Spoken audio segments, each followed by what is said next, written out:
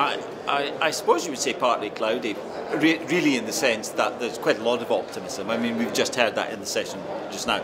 The, the, there are quite a lot of drivers, uh, you know, having just spent some time in Africa, it's a lot more people getting access to the internet, but there's still really quite a lot of problems. I mean, the, the, there isn't a business model for getting the infrastructure out, getting the services out to a lot of people. There's a lot of problems around that. A lot of governments still not quite sure what they should be doing and making mistakes.